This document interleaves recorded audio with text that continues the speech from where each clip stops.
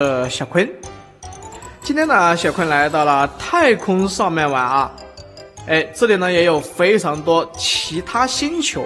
啊，这个星球呢也是非常的大呀，对不对？那么今天呢，我们要做一个非常有趣的小实验啊，哎，就是做这个迪迦奥特曼啊，你看，这个迪迦奥特曼现在站在这个光之国门口。我们都知道，这个迪迦奥特曼的身体呢是可以无限变大的，啊，变得非常非常大啊。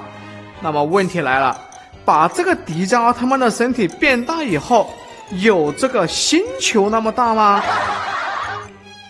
好，今天我们就来试一下，好不好？首先呢，我们把这个迪迦奥特曼的身体放大吧。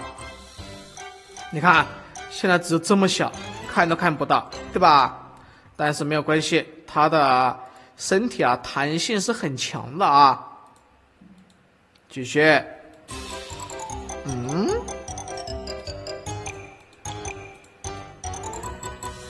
哇，看到没？现在呢长得比这个光之国都还要高了，但是距离这个其他星球呢还非常的遥远啊。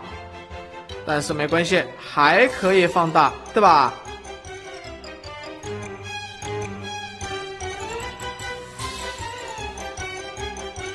哎，慢慢的变大了，现在已经变得很大了啊！你看，比一般的这个星球都要大了，对吧？看一下有没有这个星球这么高啊？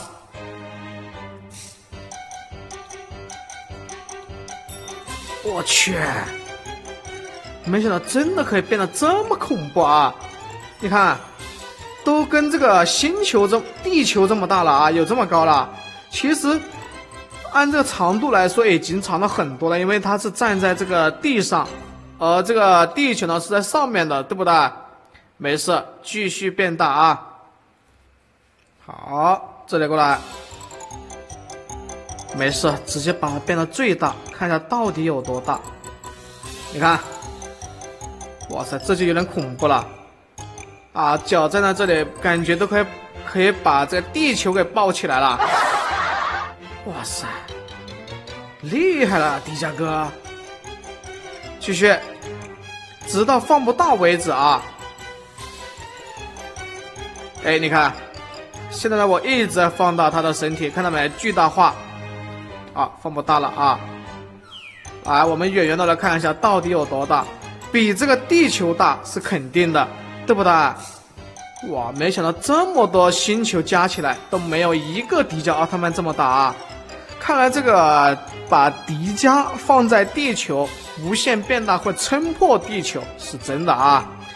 好，那么今天的实验呢就做到这里，我们下期再见，拜拜。